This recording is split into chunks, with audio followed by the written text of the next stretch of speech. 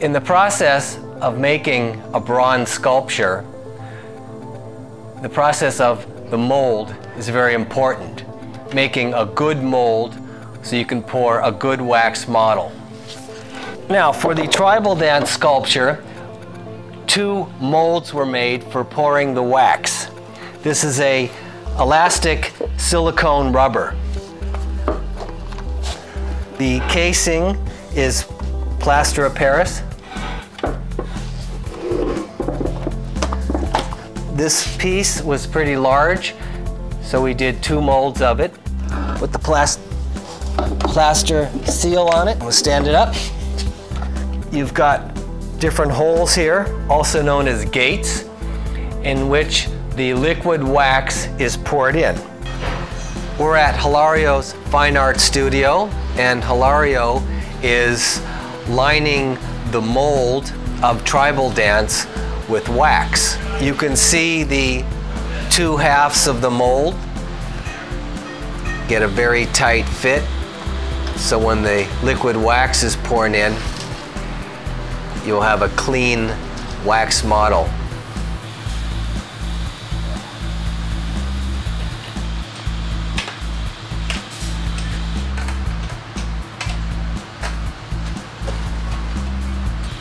We're getting the liquid wax ready to pour into the mold.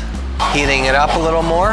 Lario's carefully pouring the wax into the mold. It's like giving birth to the beginning of a sculpture.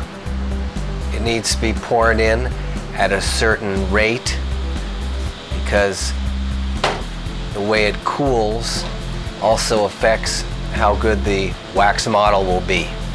Hilario is pouring out all the wax as the first pour was to form a coating. So after the initial liquid wax is poured out, you'll see it will be poured in again.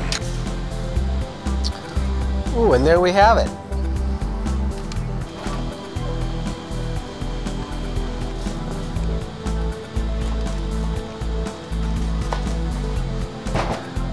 Four figures making up half of the tribal dance sculpture. Hilario's wiping the wax model with like a, a coarse sort of Brillo pad. He's heating it up, which slightly melts the surface. I have to be very careful as the piece is hollow. It's fragile. I see the, um, the mold line on the female figure.